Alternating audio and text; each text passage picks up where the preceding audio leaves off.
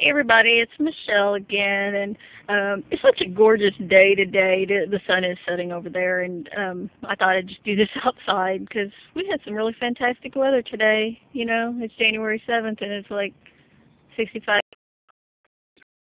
coat today, so um, crazy, crazy weather. I guess that means something bad's coming. So, anyways, um, I was just going to make a uh, video about going to Rite Aid today. Um, mostly clearance stuff that I found, but you know, and of course being late in the day, it's too late to do anything about this other random stuff that I found on sale. I did get some videotapes for 50 cents.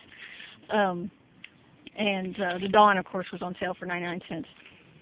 But I found this Listerine Total Cinnamon flavor. They've got that on clearance. I've noticed they've started, there's quite a bit, especially in the oral care department, that they put on clearance. And I talked about it a little bit in my video uh, the other video I did, but I went to a different store today and I found um, found this uh, Listerine Total cinnamon flavored, which is the only Listerine that I can stand to use. So um, they had this on 75 off or half off of 6.99. Um, I'm trying to find it on the receipt and.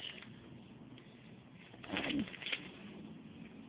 so here it is right here at 349 and what made it a, good deal for me, um, I had a dollar off coupon that's going to be in Sunday's paper, tomorrow's paper, and then I also used a dollar off video value, so it took two dollars off, so I got that for a dollar.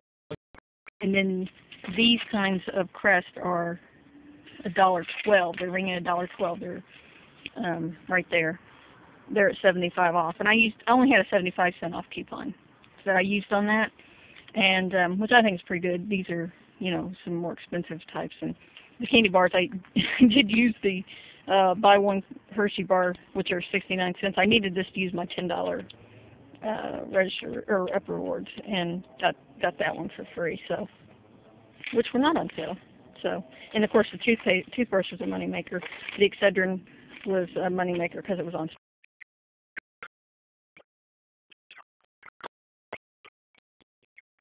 anyways, decided to share the clearance at Rite Aid. Check out the oral care department. And they have been marking down some stuff in the uh, shampoos uh, department too, but most of them are still at 50 off, and um, I'll wait for 75. Okay, bye.